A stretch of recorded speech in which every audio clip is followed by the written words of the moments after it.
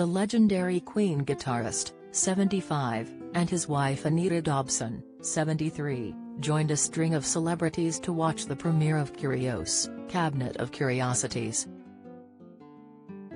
The iconic couple, who have been together for over two decades, were spotted at Royal Albert Hall on Wednesday evening. Brian and Anita donned matching top hats with steampunk goggles and complimentary striped trousers and skirt.